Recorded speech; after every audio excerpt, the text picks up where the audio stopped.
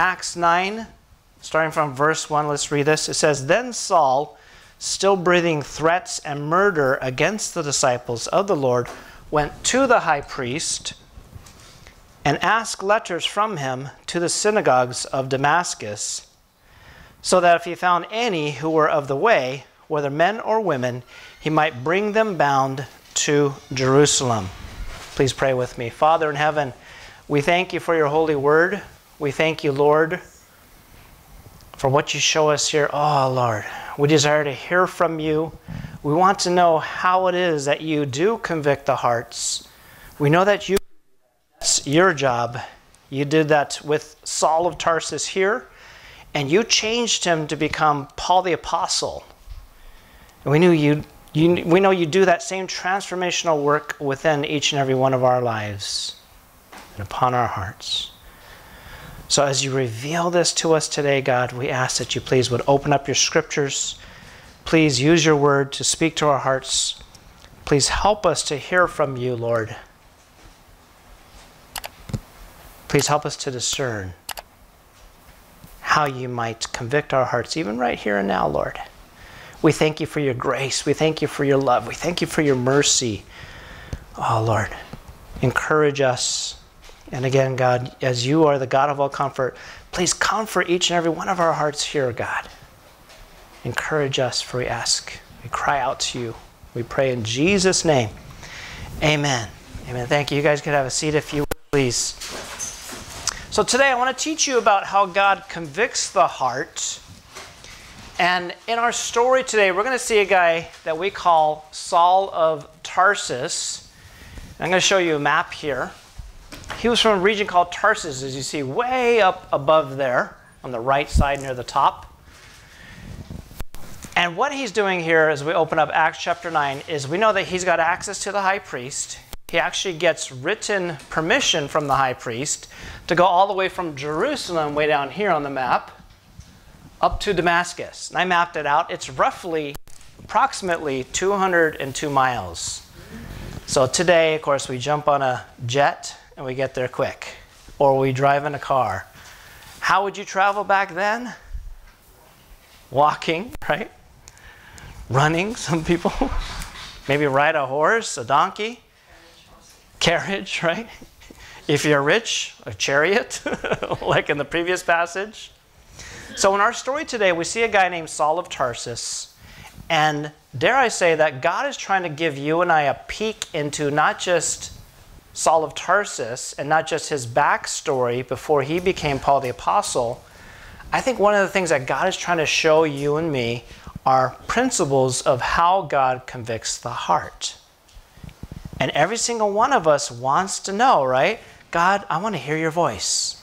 I want to be able to discern and learn how you might speak to me, how I might hear your still small voice. Right, remember that passage? That's back in 1 Kings chapter 19 in the Old Testament. Elijah was running away. How many voices was he running away from? One. Sometimes it's it could be that one girl in your life, right? He was used by God to destroy all the false prophets, mocking their false God, because he knows there's only one God, and their God didn't exist. Maybe he's on the toilet. Maybe he's on vacation. And they were cutting themselves, screaming, crying out to a false God. And he knew it didn't exist. And then he asked God, he prayed and asked God to send down fire to consume the sacrifice. I'm paraphrasing the story. You could read it later on. And God consumed the sacrifice, looked up all the water. Everybody's probably gasping, going, Whoa, your God, He is Lord. He is God. God told him, Okay, go capture all the people, the false prophets. And he actually executed all of them.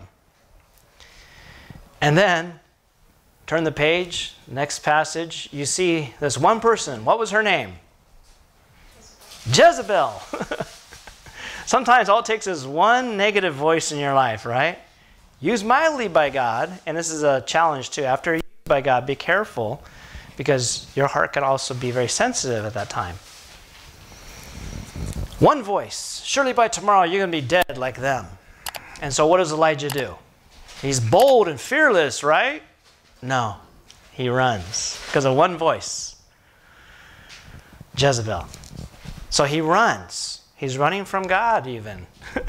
what are you doing here, Elijah? Is what God asks him. He's hiding. Oh, Lord, I'm running for my life. He, he's too scared to admit, like all of us, like how I am too sometimes. Too scared to admit, God, I'm just, I'm afraid. I'm in fear. I'm scared. She's kind of scary, God. he just saw God send fire down from heaven. So that can happen in our lives.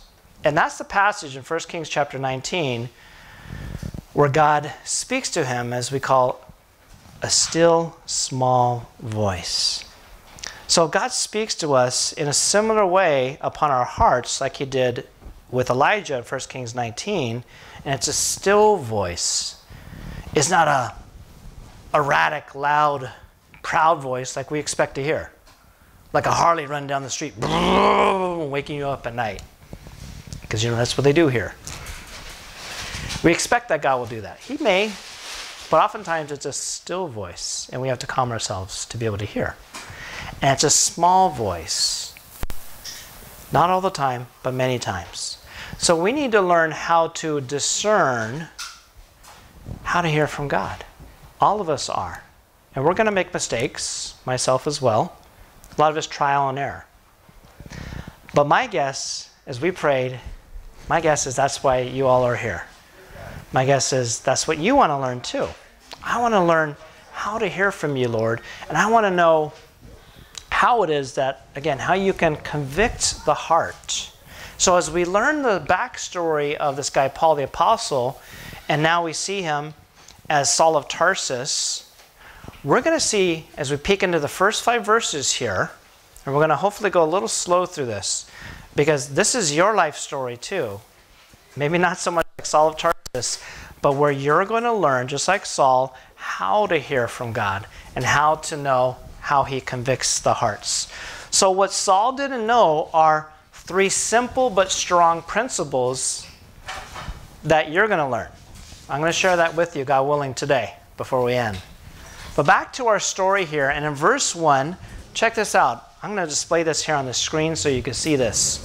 Verse 1 says Then Saul, still breathing threats and murder against the disciples of the Lord, went to the high priest. That's Acts 9, verse 1 here on the display in the purple, color coded it for you. This word for breathing, it's this word empneo. Empneo. Big deal. What does that mean, Drew? Good question. Now, first of all, this is the only place in all the Bible where this word occurs, only in this verse. And when you look it up in the Bible dictionaries, one of them's named Thayer's. Here's what one of the definitions says about this word breathing Threatenings and slaughter were, so to speak, the element from which he drew his breath. Now, this is huge because as God's opening up the backstory to Paul the Apostle, he's letting you know that he was the main killer of Christians. Question for you Have you ever seen, or maybe it's you, I know this has been me at times, praise God, not so much lately but have you ever seen when someone's so angry that it turns into a different emotion? We call that rage. Mm-hmm. Have you ever seen that? In California, we used to call it like road rage, right? Where someone's out of control. Paul's or God's telling us that Saul was out of control.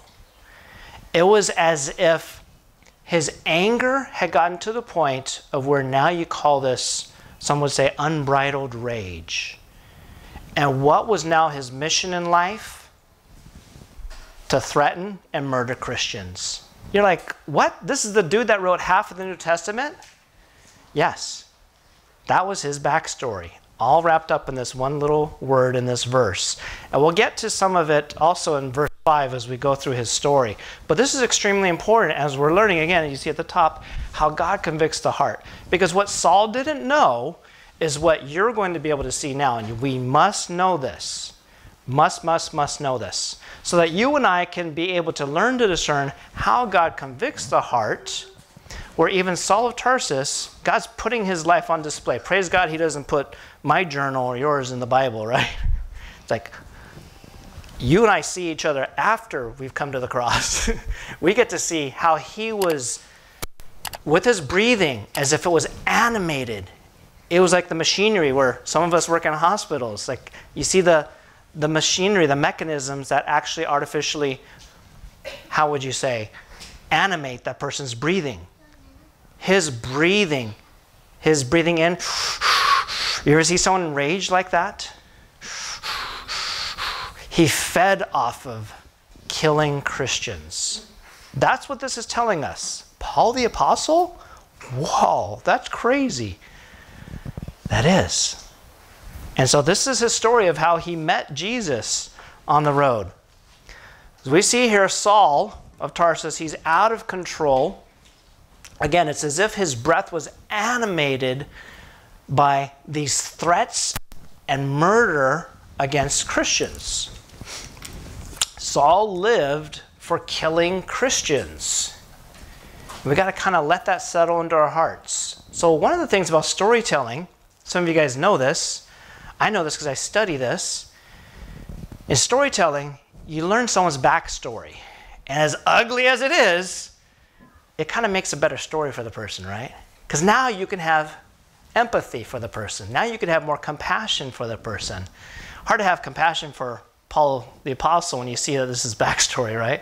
But when you see what God did to radically transform him from way out there on one side to Paul the Apostle there, hey, I didn't do that bad. I'm maybe a little over here, and I'm a little up here in my conversion, in my transformation. But wow, if you could do that with a Saul of Tarsus, who his mission was to kill Christians, and then you turn him into Paul the Apostle. Now I can understand how when he writes his letters, how he calls himself the chief what? The chief sinner. And post conversion, you and I have our memories, don't we?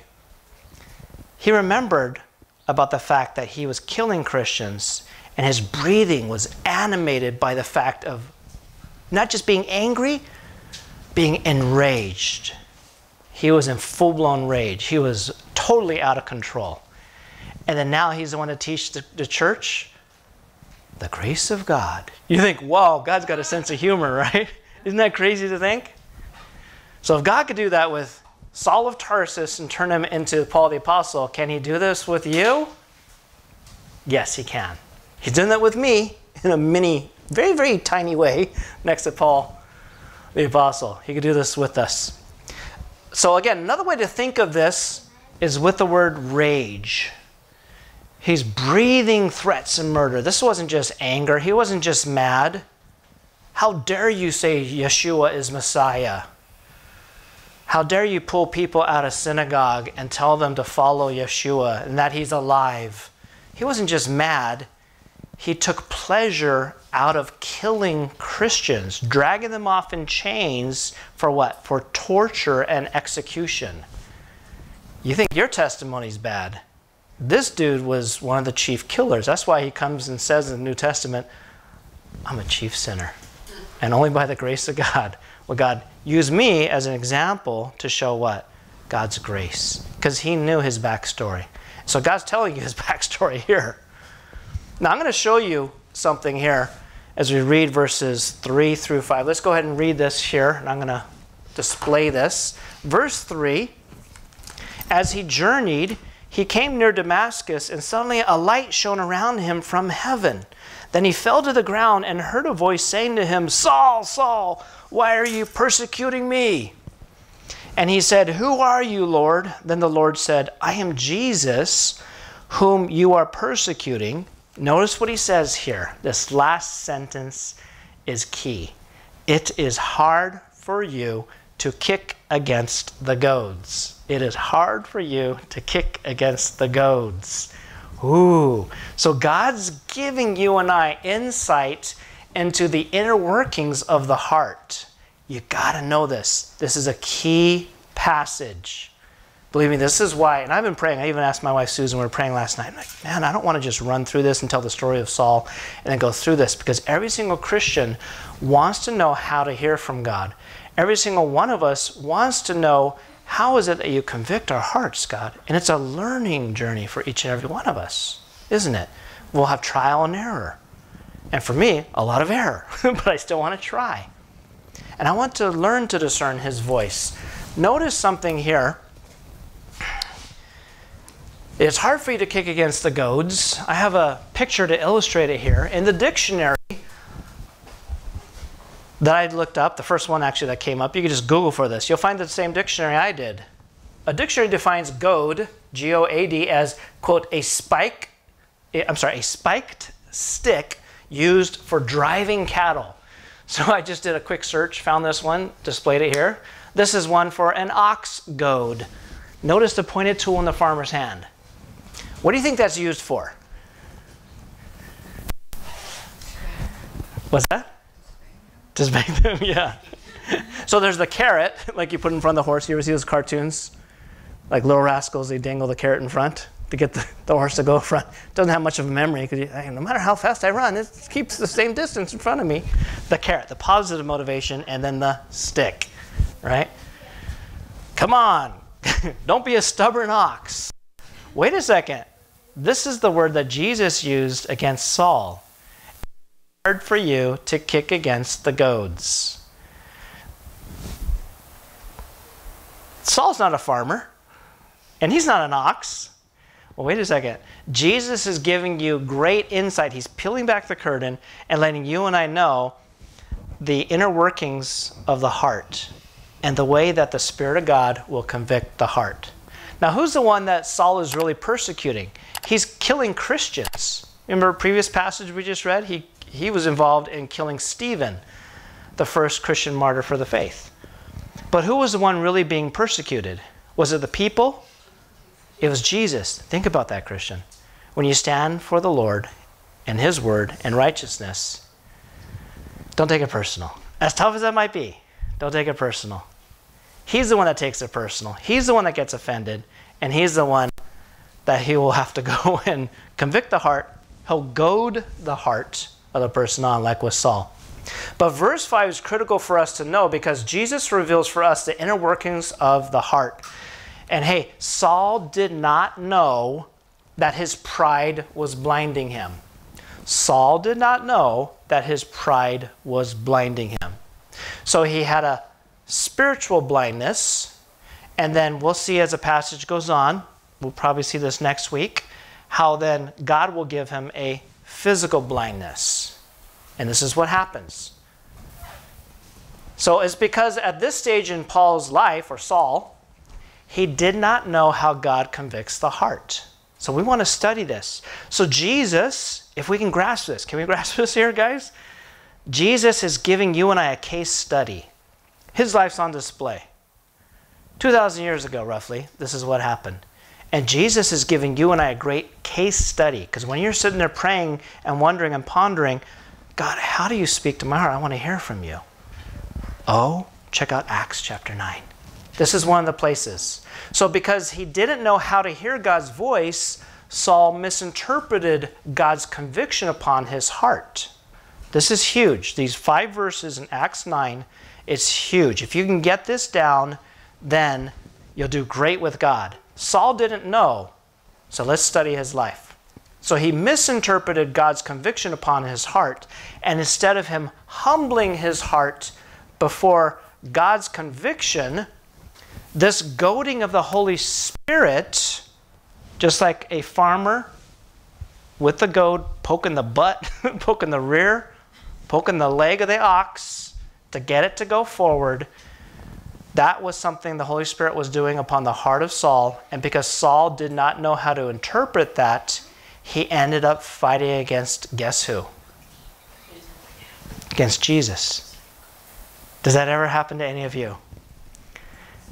And then you'll remember Acts 9, verse 5. Perhaps this will be locked away in your long term memory. That's my hope and prayer. Oh Lord, I'm kicking against the goads. It's hard to kick against the goads, isn't it, Drew? Yes, it is. Because a soft foot kicks back, and the farmer's got a nice pointed metal object, and the harder your soft foot kicks against that pointy metal object, what happens to your soft foot? The harder it hurts, right? the harder I get. Grr! That can't be you, Lord. ow, but that hurts. And you kick harder and harder. Saul was kicking hard against the conviction of the Holy Spirit upon the heart. And he didn't know how to interpret that. Instead of humbling his heart, which God wanted, he used it to fuel his passion to kill Christians. Folks, this is exactly what happens. I'm going to say this again. This is exactly what happens when the Christian wants to simply walk out God's word in her or his life. Maybe you're sharing a Bible verse or a principle, or your life is exemplifying it, and then you go through persecution. Does that happen with any of you guys? Does that happen with any of your families? That typically, right? Typical. What happens? Well, you might go through persecution. You got to allow, like David said, the battle belongs to who? To me and my flesh. No. The battle belongs to the Lord, just like David said. You got to allow God to fight your battles because He brings much greater conviction. He's a better preacher to the heart.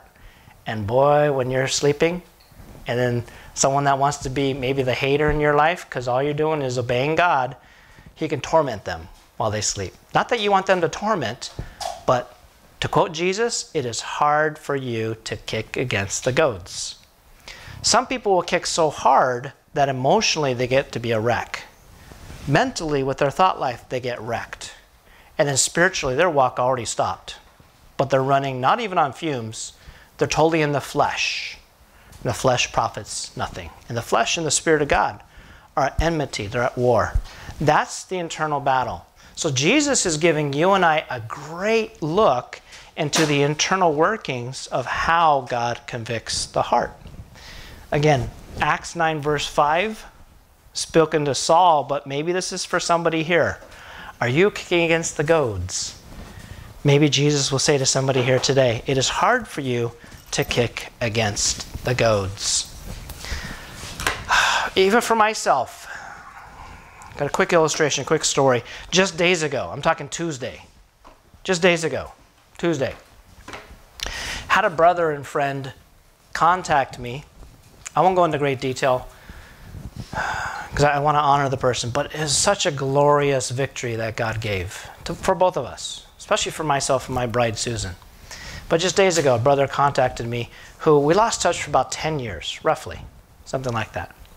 So he was a friend and a brother but Susan and I and myself had to confront this person on some things, at him and his wife, and it ended up kind of ugly. We didn't want it to be that way. We wanted to help, you know, reconcile and so forth. But you just, you know how that is. Sometimes you're, you're sharing with someone and God really is breaking your heart. You want to love them and help them, and you're called to, to be a preacher of word of truth. And then it breaks friendships at times. Well, then 10 years ago, the person, you know, they, they just broke off all communication both he and his wife. And it's like, oh, real grueling to the heart. The battle belongs to the Lord, though, right? And so, God, what do we do? And I just, I vaguely remember, but I greatly remember the, the feeling, the sense, the emotions I went through. And especially how the Lord was reminding me to just keep moving forward with integrity, both me and my bride, Susan, and others. Because it was, it got to be kind of an ugly situation. But yet, we wanted to maintain integrity. God, it's your battle. These are your kids. They say they're saved, they're yours. Help me and help Susan to just move forward, no matter what pain and gossip and so forth. Help us just to count on you. And no matter what we got to go through, help us to trust you. It doesn't happen all the time with me. There are like a few occasions. This was one of the occasions. And then his brother, 10 years later, contacted me. 10 years, right? Roughly 10 years. He was now humble. And I thought, oh, praise the Lord. He wanted to talk, contacted me Tuesday before the, the women's night thing. And so I, I chimed back, uh, wanted to do like a quick Zoom call with the person. So we connected, we talked a little bit. He was humble. And I, just knew what was burning in my heart. And I got to tell you, I'll, I'll admit, the, one of the first things that hit my heart was like your flesh, right? And I'm like, what? I'm so stupid. Can you please help me, God, just to humble my heart? I'm just telling you honestly how it happened in my heart. And then the second thought right away is, oh, Lord, who am I? I got to forgive everybody. And Ephesians 4 was at 32. I, I have to be tenderhearted, forgiving one another, just as God in Christ forgave me. I'm like, let me, let me just do this, Lord. And let me put all the junk, of the pain of the past behind. And so I talked with this person. He was able to humble himself. He apologized. I prayed for him. I remember praying twice for the person. Uh, unfortunately, what had happened, and I won't get into great detail, but you know, again, just like what happened with Saul, when someone kicks against the goads, he ended up destroying his life, his wife's life. They split. They're no longer together. And I sat there. I'm not going to rejoice over that. You don't want to rejoice over the flesh. But just like with Saul, you realize, wow. I just that sense of awe came over me because I was studying this passage, and you know, you get like goosebumps already, spiritual goosebumps. And you think, wow, that's so awesome, God. Not the fact that people's lives got destroyed. I praise God because now they're able to, I think, separately rebuild their lives. And I want to keep praying for them because they're my friends. And they're the eternal brother and sister in Christ. But to see the strength of God's Spirit and God's Word and how He'll protect you if you just trust God. And I'm telling you, 10 years. For Saul of Tarsus, I mean, his, his was a radical testimony. But for my brother and friend, sadly, I guess, and he admitted it was because of pride. He's like, I'm sorry, I was young, I was stupid. Can you forgive me? I'm like, yeah, of course. I was able to just love him. And then to reconcile a friendship. And to feel that sense of, of God bringing peace. And I thought, wow, that's so awesome. But you know what I was thinking? Acts chapter 9. And I just love when God does this. Again, I won't go into great detail, but I, just to illustrate the story, I think God was speaking to me and also for me to be able to share with you guys a personal story that's right here relevant to me. And am I right, Susan? But for us to be able to share with you, that, wow, look what God does. Again, when God convicts a heart, see, this is another person that I was this, this person too, just like Saul, but my brother and friend, he didn't know he was kicking against God. They just see the person in front of them and they hear the voice that's in front of them, but they're not able to hear from God. They're not able to see God, they see you. And so sometimes a persecution might come. But don't fear. Continue forward in faith with the Lord and to know that God is the one who will win the victory for you. So I just, I praise Jesus that he actually did that for me and my wife. It's sad that others had to have their lives destroyed, but I just had to move forward with God and do exactly what God wanted me to do. And you needed to as well. So just know whether it's Saul of Tarsus or anybody that might persecute you, as a Christian, you just want to stand for God's word of truth and you want to simply maybe share his word with someone and it might hit and hurt the heart. And you might go through persecution. Let's just get real. You're going to go through persecution because this is sharper than any what? Two edged sword. And a double edged sword is not meant to slice. I've taken some martial arts. When you look at some of the, like the, the weapons, they're meant to slice. A double edged sword think of like a spear or an arrow. It's meant to pierce. It's designed to kill flesh. Think about that. You're saying that this is sharper than a double-edged sword? Wow. it's not meant to slice and cut my flesh. It's meant to kill and crucify my flesh. So as you simply read this to somebody else, they're going to say, ouch, and they might bite back at you. Don't take it personal. Let God fight your battles. So at this point, it's good for us to know that there was three simple but very strong principles that Saul did not know. Later, when he became Paul the Apostle, he did know this. Because we see even later, and we'll get into this in the later chapters of the book of Acts, he knew exactly this principle of how the Holy Spirit will convict. The first principle I want to share with you that Saul didn't know, but you need to know and we'll learn today of how God convicts the heart is that, hey, the Holy Spirit is the one that convicts us of sin, righteousness, and judgment. So when Saul was killing Christians, he didn't know he was in sin. I mean, think about that. Exodus 20, the Ten Commandments, shouldn't murder. But he was so blinded by his pride, he didn't want to give in.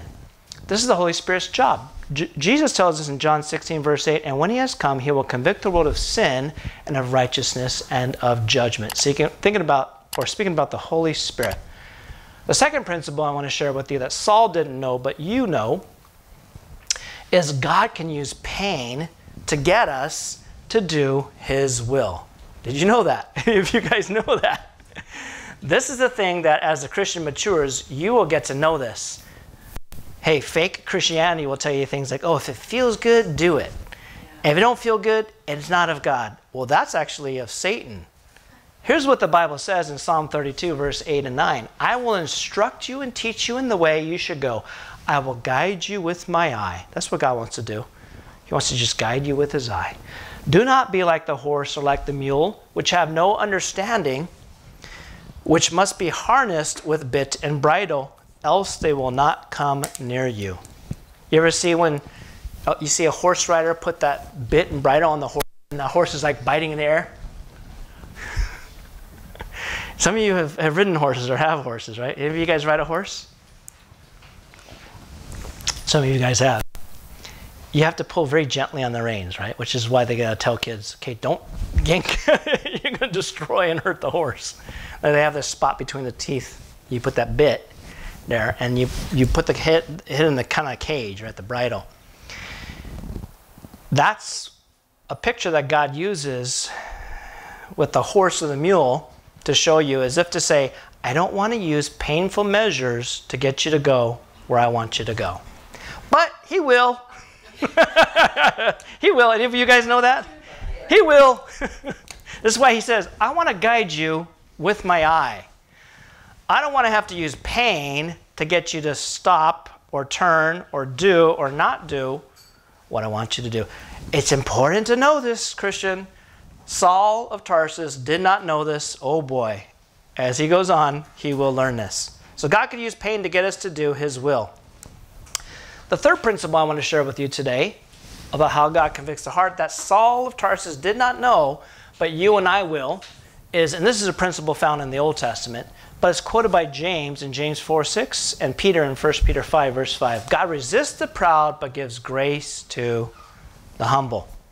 So Saul, in his pride, his anger turned into rage. And you can see that word empneo in verse 1. His breathing was animated. If you ever see someone in rage and sustained, this guy had a mission for killing Christians. And you think, that is beyond evil, right? Think about that. The only one happy was Satan, Saul, the high priest, and others. That's where he was. He was so far gone. It was his pride that was blinding him. And so later on, Jesus actually gives him a physical blindness. So the question today, I'm going to keep this short. We're going to pray to close in a bit, and then we're going to actually go ahead and partake of communion for those that want to partake as a church family. But are you kicking against the goads? Are you? Humble your heart. God resists the proud but gives grace to the humble. We're going to continue this journey through Acts chapter 9 in this study that I'm going to call How God Convicts the Heart. So please come in again next Sunday. We're going to learn more. This is the, the negative side. We're going to see a little bit on the positive side in a bit, how God convicts the heart. But I want us to learn because we tend to learn best experientially, right? Who here likes to learn hands on training? Isn't that true? All of us are, right? You don't just read it and think, oh, I got this. I'm squared away. I'm straight. I, I know what to do. No, usually we end up running, and by the fifth time you run full speed you're with your face into a brick wall, that's when you go, I think you're speaking to me, God. I've wrecked my life, and now can you rebuild it? Well, this is actually what happens with Saul of Tarsus, and God's like opening up his journal we call Acts chapter 9. This is his backstory. So now you can have empathy when you're reading his letters. 13 letters he writes in the New Testament. Now, when you read his letters, you realize the one person that's the main teacher to the church to teach you and I about the grace of God and the mercy of God is this guy that was slaying Christians, who was so enraged at his even his breathing, his whole, whole life, his purpose, his mission was really to kill Christians. And he's like, Grace and peace to you. And you think something's wrong with him. No, this is the awesome transformational work of God. And you and I need to know what happens upon our hearts. So I'm going to close this with a word of prayer, but I want to ask you that if you're kicking against the goads, if God is speaking to you, simply humble your heart. You all want grace. God resists the proud, but gives grace to the humble. Humble your heart. Surrender to the Spirit of God. Turn from your sins. Turn to Jesus. The one that loves you. He died for all of us. We're all sinners. He died for us upon the cross, rose from the grave, lives forevermore. He wants us to turn away from our sins, to repent, as the Bible says, and turn to Him, the one who gives us new life. Amen? Let's all stand, please. We'll close with a word of prayer, and then we'll partake of communion. Father in heaven, we thank you for what you show us in your word. And we ask, Father, can you please, can you please help us, Lord, to accept the fact that, wow, we're sinners. All of us have sinned. All of us have been like Saul. Maybe not so bad as killing Christians or going on a 200 mile journey to drag Christians away in chains to Jerusalem for torture and murder. But Lord, we've all broken your law. We've all sinned against you. And even indirectly, as we sinned against other people, it's really a sin against you. So we confess that to you. We're all sinners, even as you say. And we admit and accept and receive and believe the fact that Jesus died on the cross for all of our sins and for all of us. We want to repent and turn away from our sins. We want to humble our hearts before you in your holy presence, God, amongst your family, the family of God here. We confess these things to you and we ask for your strength to turn away from our sins and to follow you, God. Help us to learn to discern how you convict our hearts, how you would speak to us. And as we read the story of someone like Saul of Tarsus, we thank you for what you've done in his life. Please do the same transformational work within all of our lives, God. Help us to follow you fully, but empower us that we might do so, for we ask in Jesus' name. Amen.